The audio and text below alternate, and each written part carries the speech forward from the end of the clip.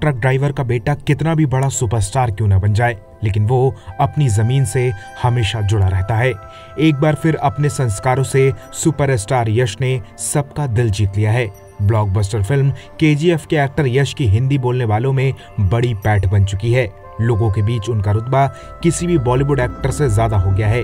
इसीलिए उनकी फ़िल्म के चैप्टर टू ने 1230 करोड़ रुपए की कमाई कर ली, जो पठान की एक हज़ार अट्ठावन करोड़ की कमाई से भी ज़्यादा है।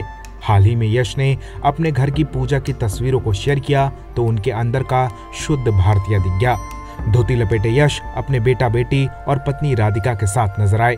खास बात ये थी कि सभी ने भारतीय परिधान पहने हुए थे।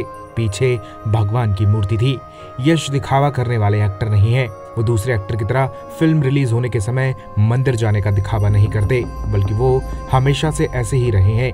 यश इतने बड़े सुपरस्टार बन चुके हैं, लेकिन आज भी उनके पिता बस के ड्राइवर हैं। वो अपनी नौकरी नहीं छोड़ते।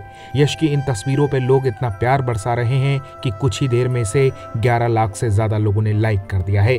यश इन दिनों फ़िल्म रामायण को लेकर चर्चा में है। रणबीर कपूर इस फ़िल्म में राम बन रहे हैं, जबकि यश रावण का किरदार निभाने वाले हैं। यश को इस रोल में देखने के लिए उनके फैंस बहुत एक्साइटेड हैं। यश की फ़ैन फॉलोइंग इस कदर बढ़ चुकी है कि बॉलीवुड वाले भी अब उनके साथ काम करने के लिए पीछे भागते हैं। यश की इन तस्वीरों ने एक बार फिर उन्हें लोगों के बीच चर्चा में लाकर रख दिया है। लोगों को ऐसा स्टार ढूँढने से भी नहीं मिलेगा। वेल आप क्या कहेंगे इस पर? अब राय हमें कमेंट में दीजिए और ज़्यादा ऐसी अपडेट्स के लिए बॉलीवुड पे चर्चा को सब्सक्राइब कीजिए।